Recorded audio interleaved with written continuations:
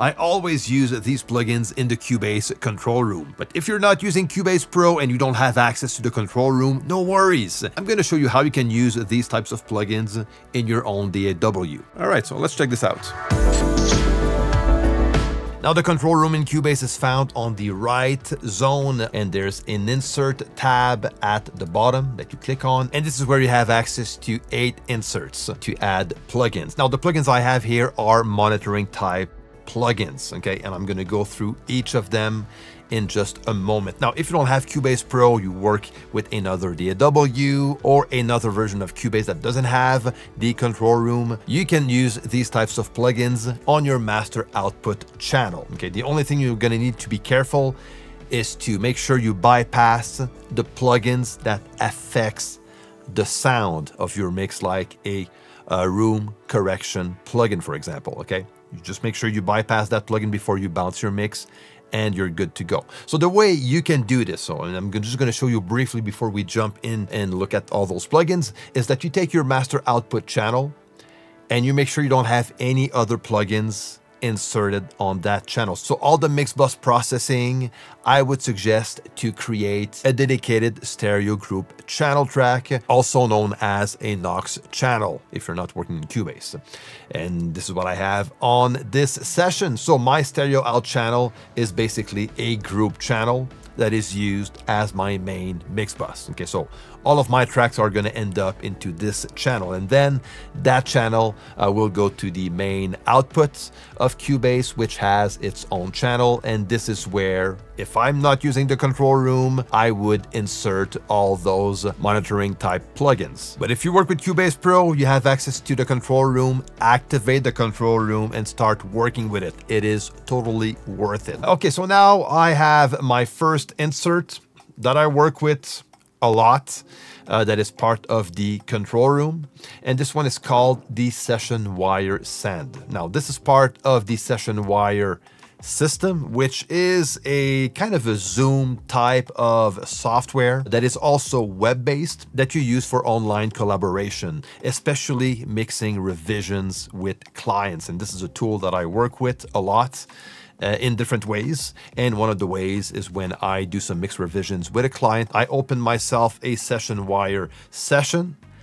I send the link to my client to connect to the session. So it's a bit like a Zoom session. So I have my microphone, uh, my webcam, and same for my clients. We're both in the same session. I can share my screen, uh, my Cubase session also. And the Session Wire plugin that I have in the control room will send the signal coming out of Cubase straight into Session Wire because it's a bit more than the plugin. It's also an audio driver, which makes it pretty powerful. If you want me to do a full video on how I work and how I use Session Wire, let me know down below. I also use it within OBS, which is the software that I'm actually using right now as I make this video to screen record my Cubase. This is my OBS project I'm actually using right now. And right here I have my microphone on top and on another channel I can record the audio coming from Cubase. And I'm going to use the same audio driver, which is the Session Wire plugin driver, if I can call it this way. And if I click on uh, properties, there you go, I see in device the Session Wire driver.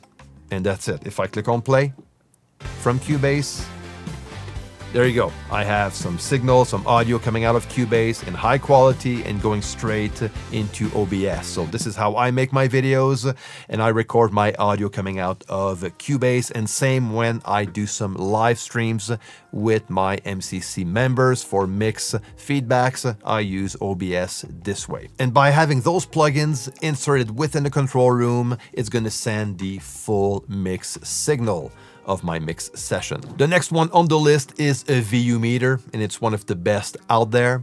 It's called the VUMT by uh, Klanghelm. It's a great plugin. It's not expensive. It's like 20 bucks or something. It's a very nice detailed uh, VU meter that works very well. You can calibrate it to the level you want and it's uh, pretty useful for gain staging and stuff like that, you know. So I have it straight into the control room in Cubase, and if I need to use the VU meter when gain staging, I can only solo the channel I'm gain staging, open that plugin, and that's it. And every time I solo a channel, it's going to be monitored by this plugin from the control room. So it makes it easy to work with. So I don't use that all the time, but you know, when I need it, it's there. Uh, then I have one of my favorite graphic spectrum analyzer and this one is called span and the cool thing about this one is that it's free there's a plus version that i also purchased but this one is the free version and it's great. This plugin is by a company called Voxengo. It has been out for years, and honestly, it's one of my favorite free plugin. Go download it. Okay, I'm gonna leave the link down below. It's just great. So that is a spectrum analyzer, which is great uh, when mixing, uh, just to have an idea on the full uh, frequency spectrum of your mix. You can also use a graphic analyzer to analyze a mix reference. So this is actually pretty useful in this case. Now, in my control room, the way I set everything up is that I have access to uh, my reference track within the control room by going from the mix to Q1. So I have my mix reference channel that is routed to Q1 and this is where I can switch within the control room from my mix to the uh, the reference mix, which is great because I can use all those reference plugins and analyze my reference mix compared to my mix. I'm not going to make a video on how to work with a graphic analyzer. If you want me to do so, let me know down below. I can make a full video about graphic analyzers in general, how to work with them, and also how you can work with the Span Voxengo plugin. So if you want me to do it, this type of video, let me know down below. So next on the list is Supervision. Now Supervision is more than just a graphic analyzer, it has all sorts of different tools.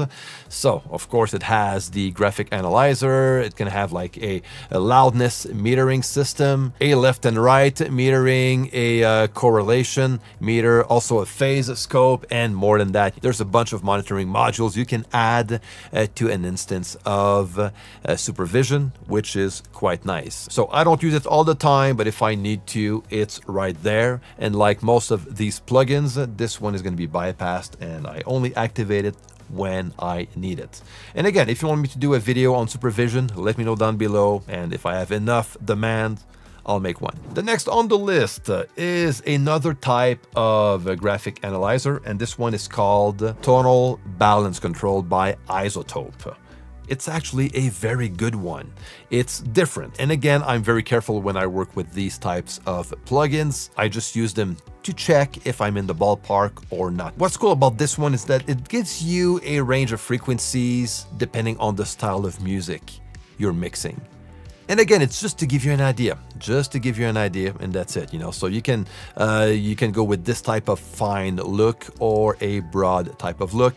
I kind of like the fine one. So it gives you a different perspective compared to a traditional spectrum analyzer. It's kind of cool. And the next one is Masterplan. Now this one, I use it in a very different way because it's mainly a mastering plugin. I actually made a full video on this one if you want to watch it.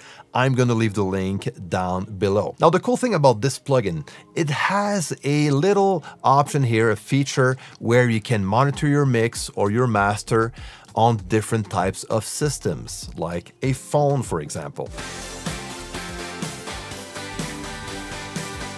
or a pair of NS10 speakers.